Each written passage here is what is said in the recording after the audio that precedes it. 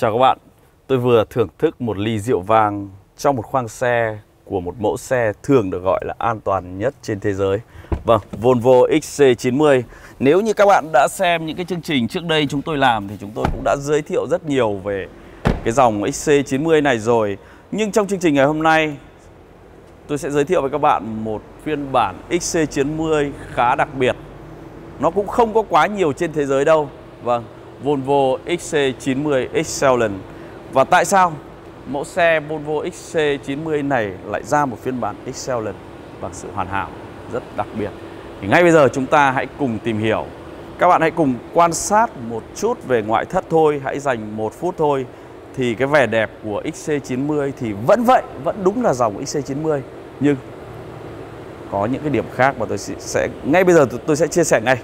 Điều đầu tiên chính là chiếc chìa khóa.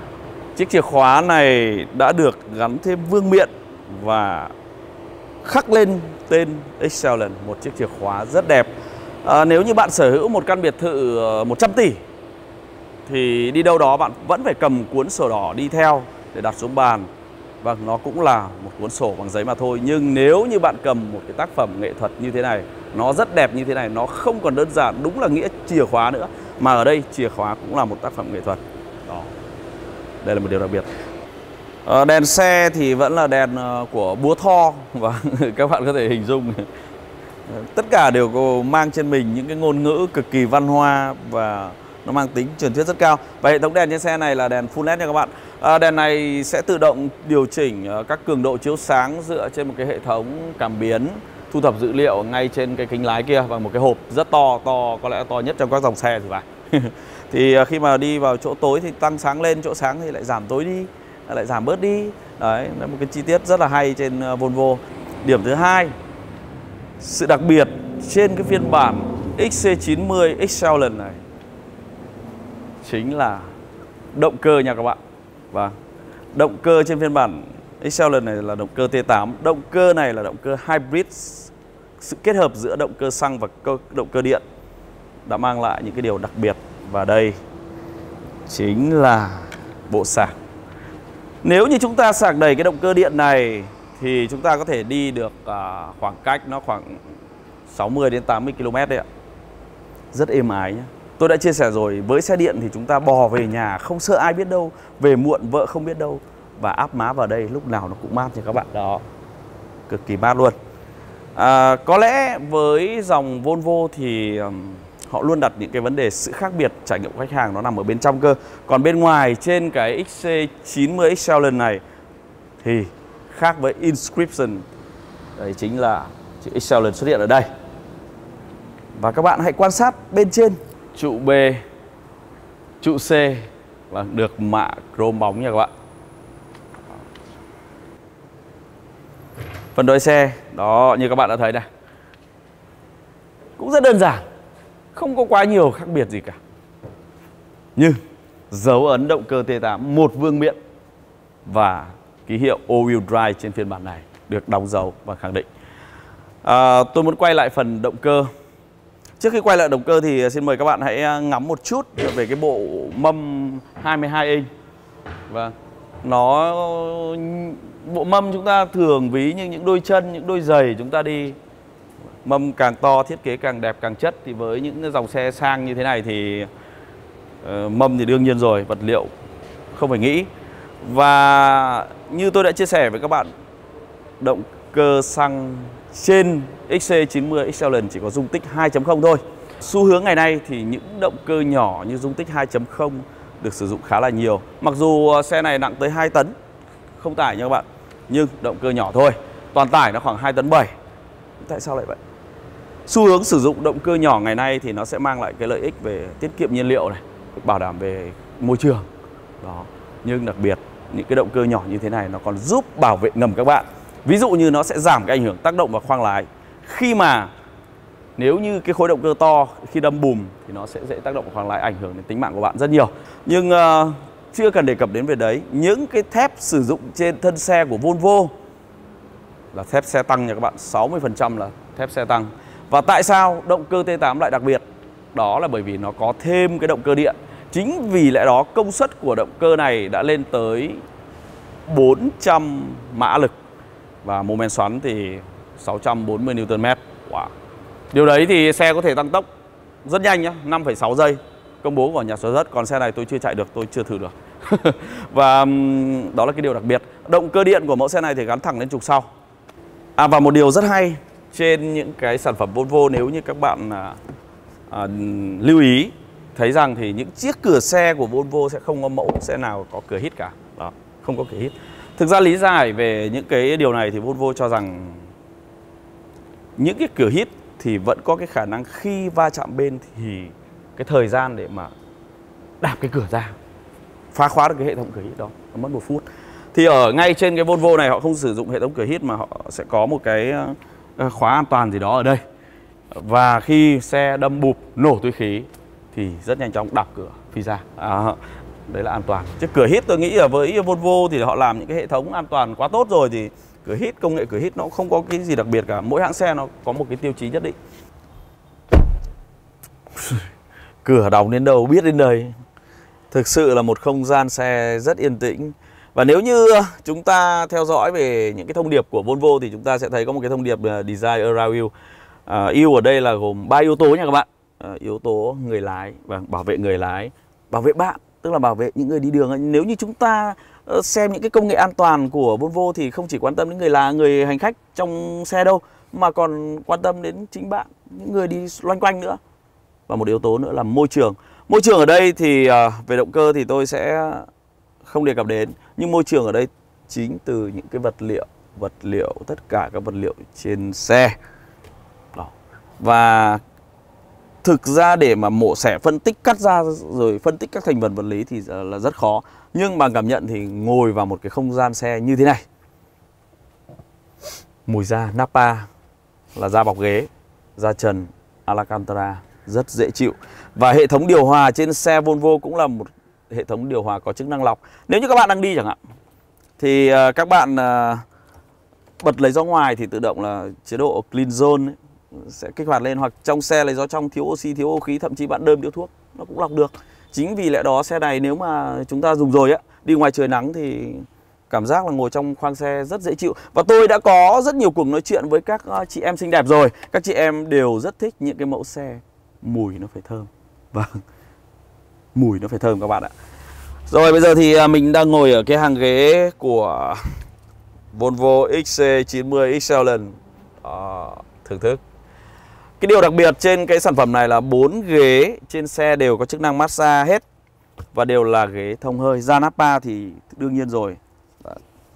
Bệ đỡ này thì để đỡ đỡ đùi này thì à, nó như trên những à, khoang hạng C rồi những chiếc xe sang bình thường thôi, không có vấn đề gì cả. Đó. Thưa các bạn, đây là một chiếc bàn nhá. Nó cũng tương tự chiếc chìa khóa. Nó được thiết kế rất đẹp. Vật liệu. Cực kỳ tinh nhé Không hề có lỏng lẻo đâu. Đây. Vỗ luôn. Không sợ gãy. Nếu như là nhựa là gãy Nhưng Volvo cái gì cũng chắc. Không phải khen đâu Nhưng mà thực sự là vậy. Đấy, Tôi sẽ gặp lại.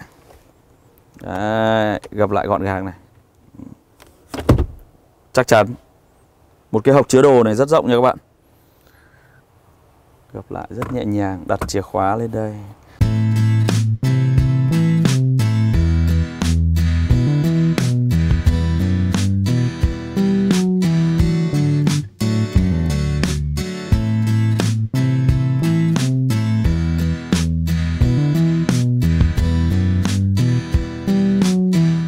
Và ở đây có xuất hiện của hai chiếc ly bằng pha lê hai ly. Điều đặc biệt của hai ly này lại không có chân các bạn. Và hai chiếc ly này được các nghệ nhân Làm bằng hoàn toàn thủ công Với vật liệu là pha lê nha các bạn. Rất đặc biệt. Mà cẩn thận chứ không vỡ không có tiền đền. Chết. Và ở đây thì chúng ta có một cái khay Để uh, sưởi hoặc hâm nóng những cái ly như Starbucks cà phê Starbucks chẳng hạn. À, hệ thống điều hòa độc lập 4 vùng và tất cả bây giờ đều là touch screen hết đó. chúng ta có thể chọn, đó. tăng giảm, vuốt vuốt vuốt vuốt vuốt chạm thôi còn bây giờ thời đại công nghệ cao cho nên cứ việc vuốt và chạm thôi và các bạn hãy quan sát trên một cái công sôn này, có một cái màn hình màn hình này thì mình có thể điều chỉnh các cái hàng ghế như thế này này nhà ghế ngay phía trước này à, thì có thể tiến lùi nó điều chỉnh tiến lùi nó. À, các bạn có thể thấy. Nói chung là uh, mình cần không gian thì mình đẩy nó lên thậm chí gập nó sâu vào. Rất đơn giản thôi. Thiết kế không quá cầu kỳ không quá mỹ miều về mặt giao diện. Nhưng dùng thì rất dễ. Chúng ta có thể sấy ly cà phê ở đây có thể uh, làm mát gió đây. Uh, có thể tăng giảm các cái chế độ thông gió cho cái ghế mình ngồi, sấy chẳng hạn. Và mùa đông lạnh giá chúng ta có thể sấy cho mọi thứ nó đều ấm. Ấm từ đầu đến chân, từ chân đến đầu. Và đó. nếu dùng xong chúng ta lại gập gọn vào đây. Nó hơi khác những cái mẫu BMW hay là mẫu Audi A8 mà mình vừa trải nghiệm. Đấy là một cái màn hình kèm theo. Và nếu như bạn cần làm lạnh, chai rượu vang để mời người đẹp ngồi bên này chẳng hạn, thì chúng ta có thể bỏ chai rượu vang đó vào đây. Đó. trong này có thể chứa được hai rượu vang nha các bạn. Hai chai rượu vang đó, rất là rộng. Mát lạnh luôn. Vâng mát lạnh. Cái gì cần làm lạnh, đút vào đây. Cái gì cần hâm nóng, đưa vào, đưa lên trên này. Và chiếc ly pha lê không chân, handmade. Chúng ta có thể cắm vào đây để làm lạnh. Trước khi mời người bạn, đối tác của chúng ta bên này một ly cho thắm tình tôi sẽ cất ngay vào đây chứ nếu không mà lỡ có làm sao thì lại không có tiền đền. Mình chỉ review thôi chứ không sở hữu được. Và ghế thì đương nhiên rồi ghế là các bạn nhìn các chi tiết trên ghế này. Da nappa đường chỉ may đều tăm tắp lỗ thông hơi tất cả nó thể hiện một cái đẳng cấp của một chiếc xe sang và không phải nói quá nhiều nữa. Và ngay cái, uh, tựa đầu này cũng vậy. Chòa ngồi như thế này đi có khi vài nghìn km vẫn sướng với độ ngả như thế này thì khi mà thoải mái chúng ta như thế này khi có chuyện không vui lắm thì chúng ta lại ngồi kiểu hành xác như thế này Wow, wow, nhẹ nhàng êm ái, từ từ từ từ. Đó. Thực ra không ai ngồi như thế này cả. Tôi chỉ muốn thể hiện cái biên độ của nó thôi. Và nếu như các bạn quan sát ở trên cái tựa lưng ghế phía trước ấy, thì nó không phải là những cái màn hình đi theo xe nữa. Mà ở đây thì Volvo lại có cái quan điểm rằng là ờ, chỉ cần cung cấp những cái bộ gá và chúng ta có thể sử dụng những cái vật liệu rất là phổ biến, những cái sản phẩm rất là phổ biến như là uh, cái máy tính bảng cụ thể đây là cái iPad chúng ta có thể vừa làm ở đây tôi có thể điều chỉnh xuống để tôi vừa làm việc. Cũng là một cái quan điểm rất là hay. Hệ thống loa trên xe là hệ thống loa Bose Wikin rồi rất nổi tiếng loa này nghe hay không phải nghĩ. Đèn đọc sách. Đèn đọc sách. Nhẹ nhàng. Mọi thứ rất nhẹ nhàng, êm ái. Thêm một giai điệu nhạc du dương. Thêm một chiếc máy tính. Thêm một cuốn sách đọc. Thực sự nó là một cái không gian thật rất là tĩnh. Nhưng ờ, tôi chỉ hơi tiếc một chút là chiếc rèm che nắng này lại chỉ điều chỉnh bằng cơ mà thôi. Và các bạn hãy liếc mắt ra phía sau cùng với hùng xe cỏ để chúng ta thấy thêm một cái chi tiết giúp cho chúng ta có thể thoải mái hơn. Đấy chính là đó đây là một cái vách ngăn nha các bạn. Đấy, vách ngăn này. Vách ngăn giữa khoang của hành khách và khoang chứa đồ. À, nếu như tài xế của mình đang lấy đồ nói chuyện với ai đó phía sau thì cũng không ảnh hưởng đến mình đâu. À, thậm chí nó cũng tránh những cái vật gì đó mà khi phanh gấp để trên cao nó phi bộp ra phát đường trước à, rất hay. Đây các bạn có thể rất chắc chắn da trần là Alcantara luôn rất đẹp. Thực ra vật liệu sử dụng trên xe sang này thì không phải nghĩ nữa rồi. Vâng khi ngồi vào hàng ghế trước thì mình cũng thấy sang trọng và an toàn các bạn ạ. Không hiểu sao nó có thể là cái cảm xúc thôi cảm giác hay như thế nào đấy. Nhưng mà khi mà ngồi vào Volvo mình luôn có một cái cảm giác được bảo vệ ở cấp cao nhất nha các bạn. Và Vâng, bảng tablo thì à, rất là quen thuộc trên XC90 rồi, màn hình to này, màn hình như màn hình iPad này sử dụng cũng rất đơn giản này, cứ gạt sang, gạt qua trái, gạt qua phải. Những cái tính năng như là uh, hỗ trợ ra vào điểm đỗ này rồi là hiển thị trên kính lái này rồi camera 360 Đấy.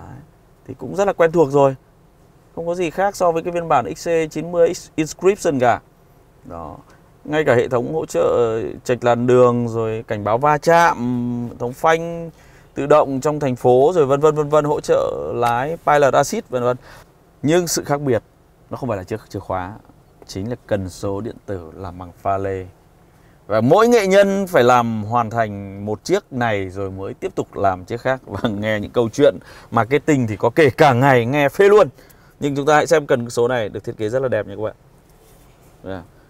pha lê này, cần số điện tử này, đẩy lên, đẩy xuống, rất nhẹ nhàng nhé XC90 trước thì chưa có cái này đâu. À, dùng cũng rất dễ thôi.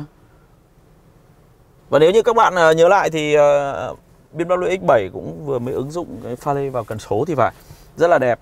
Còn bên dưới này là nút Start Stop Engine Drive Mode. À, Drive Mode thì là có tới khá nhiều chế độ mình sẽ bật lên mình đếm. Các bạn có thể thấy này chế độ Pure Đấy, chế độ là chạy động cơ điện mà hiện tại xe đang chạy động cơ điện thôi. Rất êm ái hybrid này chúng ta thường sử dụng hàng ngày này. Nên nhớ là động cơ điện này mất ờ, khoảng 2 tiếng đến 2,5 tiếng để sạc đầy. Chế độ individual thì chúng ta có thể cài đặt các cái thông số về ờ, phản ứng của động cơ rồi chân ga hệ thống treo vân vân. Power đây hệ thống sport và hệ thống off-road. Khi chúng ta chuyển sang chế độ off-road thì xe cũng sẽ tự động nâng lên một chút. Đó. Nâng lên nâng lên đấy. Hệ thống treo khí nén sẽ tự động điều chỉnh, nâng lên để chúng ta chạy vào đường xấu, tránh sạt gầm, phá hỏng xe. Thực ra xe sang này cũng không dám mang đi off-road đâu thật đáng tiếc, chiếc xe này quá mới, sẽ trưng bày tại triển lãm cho nên tôi chưa lái nó được. Và vô lăng thì cũng rất đặc trưng trên XC90 thôi. Da, sờ, đẹp, và các hệ thống hỗ trợ cũng vẫn vậy nhưng ra ghế lái là ra Napa có sông hơi có massage và để kích hoạt massage thì chúng ta chỉ cần bấm vào cái nút bên ghế và các bạn có thể, sẽ thể thấy này. À, ngay sau khi bấm hiển thị lên thì chúng ta có thể chọn này. Đó, đấm bóp thôi. Chúng ta đấm bóp. Vừa lái xe lại vừa được đấm bóp đi đường dài không sợ mỏi. Và ghế lái thì có ba vị trí nhớ ghế nha các bạn. Chúng ta có thể cài đặt ngay trên um, thành cửa này đó chính là đẳng cấp của Volvo. Nhưng trên phiên bản Excellent này đã trang bị thêm những cái tiện ích cho người lái. Và tôi thì có một cái quan điểm như thế này, sẽ không có 4 hay 5 hay 10.0 gì cả, mà cứ tạo ra nhiều tiện ích tiện nghi, thoải mái và an toàn cho khách hàng. Đấy chính là công nghệ cao rồi. Những vật liệu này nên nhớ là tự nhiên hóa nhất có thể nha các bạn. Tự nhiên hóa nhất. Các bạn có thể yên tâm. Với những sản phẩm Volvo tính nhân văn rất cao. Không chỉ an toàn đâu, không chỉ quan tâm đến người ngồi như tôi ở đây đâu còn quan tâm đến chính bạn những người đang đi bên cạnh tôi nữa và quan tâm đến vấn đề bảo vệ môi trường nữa. Đó khi mà chuyển ờ, xe ở chế độ off-road thì gầm được nâng lên việc xuống sẽ phải kiễng chân hơn thì bây giờ tôi có thể chọn xuống là chế độ pua cái chế độ đó, xe lại lại tạch tạch tạch tạch tạch tạch lại chuyển xuống thấp hơn. À, cái mức độ chênh lệch uh, đâu đó khoảng uh, 2 cm nha các bạn. Chìa khóa trên tay vùng ơi mở ra. Đó như ra lệnh bằng giọng nói các bạn ạ. Và nếu như các bạn thấy thì chiếc cốp này đang hơi cao một chút với mình. Thì mình có thể hạ thấp nửa xuống ở đây. À, thậm chí ông có thể nâng lên. Nó có hai tác dụng nha các bạn. Thứ nhất là khi mà nó đang ở vị trí cao quá mình muốn lấy đồ ra thì mình hạ thấp xuống. Thứ hai là nếu mà mình cần chở tải cao á chở tải nặng ấy, thì nó sẽ cân bằng cân đối cái xe nó không bị xe đít. Những chiếc xe đi trên đường mà trông xe đít thì nó không mất, mất dáng. Mặc dù mình đang hoạt động hết công suất nhưng mà dáng lúc nào cũng phải đẹp. Vâng, và đấy chính là những cái xe sang nó luôn đặt những cái tiêu chí như vậy. Excellent, Excellent, Volvo XC90 Excellent. Chắc nghe không bằng một thấy. Nếu như các bạn muốn ờ, xem cái phiên bản này nó Excellent như thế nào thì các bạn có thể đến triển lãm ô tô Việt Nam đang diễn ra tại uh, trung tâm hội trợ triển lãm ở Phú Mỹ Hưng để uh, tận tay này, sờ chạm này, mắt ngắm này, tìm hiểu thêm những cái chi tiết trên cái sản phẩm này và về hãy nhớ comment lên chương trình của chúng tôi nhé. Còn bây giờ thì xin chào và hẹn gặp lại các bạn trong những chương trình tiếp theo. Các bạn đừng quên like, share and comment